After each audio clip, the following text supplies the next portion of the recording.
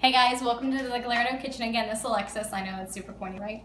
Um, so we wanted to share with you some of the things we're doing this week. Um, so let me just go ahead and go through. We're doing the brown rice again, um, just because it's an easy filler for a complex carbohydrate, a good quality one. This is what I have in the crock pot for right now. So this is just some chicken. Um, I've done some broth, some uh, sliced garlic, some lemon in there. Um, and what I'm gonna do with that is when that's finished, I'm going to put it in my containers over here with my vegetables that I already prepared. So it was grapeseed oil, some garlic powder, some little bit of salt, a little bit of pepper, and I just baked those, and those are in here. And this is actually what we had for dinner. So what I normally like to do is I like to cook extra dinner and then whatever's left over, um, that's what we take for lunch the next day. So that's chicken, some zoodles, I made some little homemade little pesto, and um, some tomatoes. Um, okay, so then what I like to do for my weekly um, way of doing things too is kind of feed off of what we did the week before or if I have leftovers and things. Um, well, real quick, let me show you this. Last week I did egg cups. This week uh, we're doing the same idea, but it's turkey bacon on the outside. There's um, shredded kale down in the bottom, and then I broke some eggs in it. So that'll be a nice play on kind of what we did last week. Um, so last week I had the wraps with peanut butter and banana for a snack. Well, I had leftover wraps. So what I decided to do is I actually just took kitchen shears, cut them into fourths, and I put them on here. I sprayed them with some uh, garlic uh, or some grapeseed oil and I chose to season them with some Fiesta lime uh, seasoning because I'm gonna bake those and those will be great for this that I'm making. So what I did is it's just an easy way to do it. Sometimes I'll do chicken first, bake some chicken, but for this instance, so I want something quick, I just got a rotisserie chicken. I've used the breast off the chicken. I've cut it up and I have added two avocados, so I just mashed those, put those in there.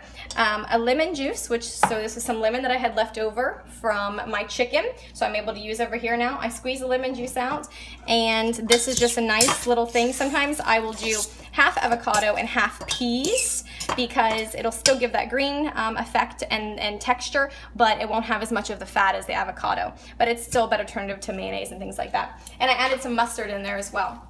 You can season it with whatever you'd like. Another thing that you can add with this is you can slice cucumbers and you can dip in that with cucumber or use the, the little um, pita chips that I made and dip into there. So that's a good snack um, so this is something I'm kind of experimenting with this week.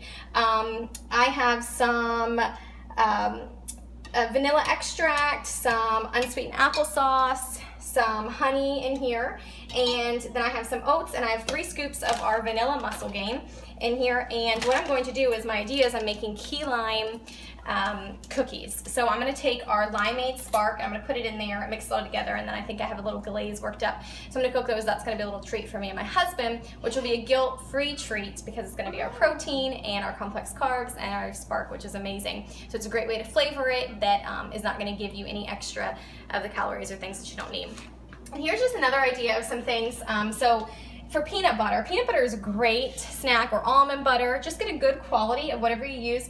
And normally you would get, sometimes there's flavored rice cakes. Well, this is a thing that I like to do sometimes is take just regular rice cakes, take your peanut butter, and this is great to portion out and take this with you.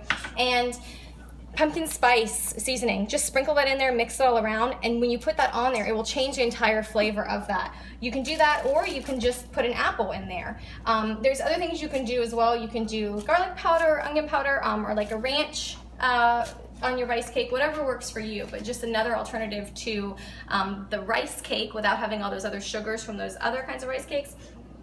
And you can, if you do the ranch flavor, you can always dip it in hummus, which is a great snack. So I hope this helps and gives you a little more ideas.